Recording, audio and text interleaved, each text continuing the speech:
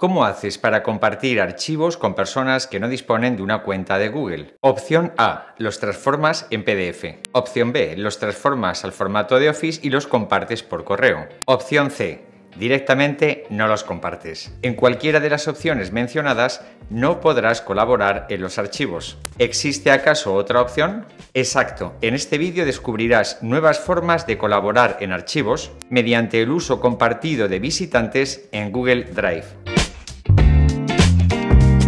Empieza así un nuevo curso escolar implementando las nuevas mejoras y novedades que te ofrecen las herramientas de Google.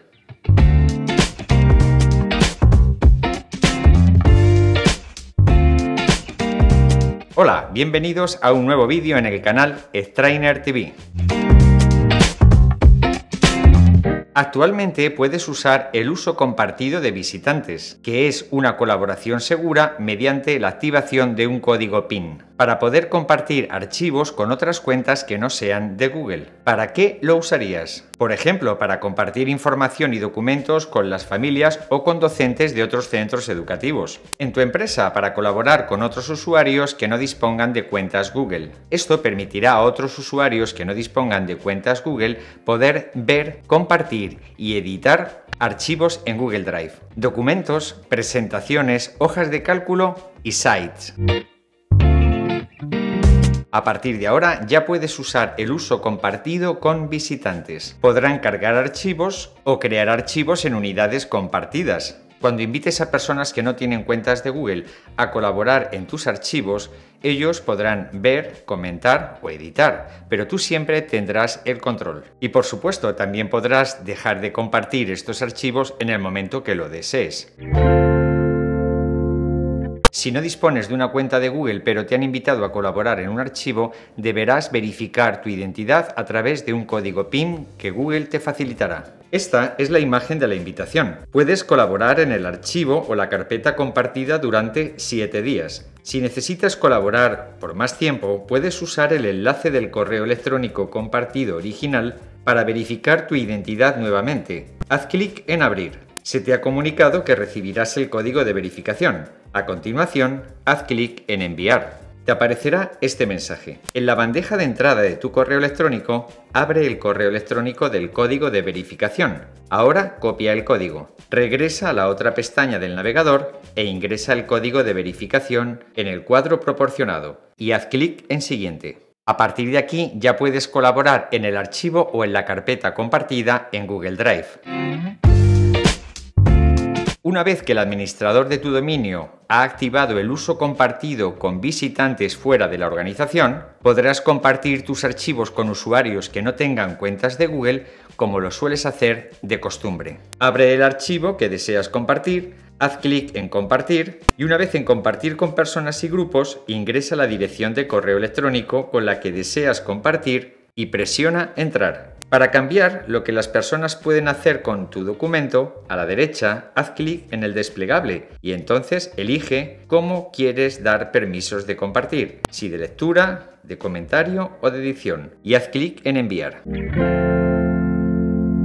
Cuando el uso compartido de visitantes está activado, Tú y los usuarios del mismo dominio podéis agregar visitantes a unidades y carpetas compartidas, pero no como miembros. Un visitante puede ver, comentar, sugerir ediciones y editar directamente archivos y carpetas que están en mi unidad y unidades compartidas en la web incluidos elementos en Google Drive, documentos, hojas de cálculo, presentaciones y sites, imágenes como JPG, PDF y archivos de Microsoft Office, incluidos también archivos de vídeo. Agregado a una carpeta de unidad compartida, puede crear archivos y cargar archivos dentro de esa carpeta. Quien tiene acceso de edición puede compartir el archivo con otro usuario de Google, pero no con otro visitante. No puedo acceder a documentos en clientes descargados, incluido Google Drive para escritorio. Puede eliminar su sesión. Las sesiones en un archivo compartido se pueden ver y cambiar, o se pueden revocar su acceso, como cualquier otro colaborador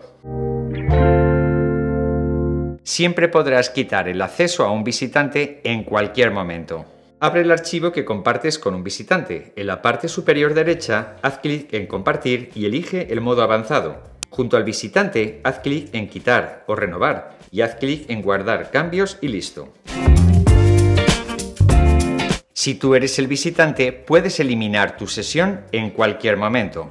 Cuando elimines tu sesión como visitante, tu nombre se elimina y todos tus cambios y comentarios se atribuyen a un colaborador desconocido. Al eliminar tu sesión de visitante, perderás el acceso a los archivos que se hayan compartido contigo. Para recuperar el acceso, deben volver a compartir los archivos contigo.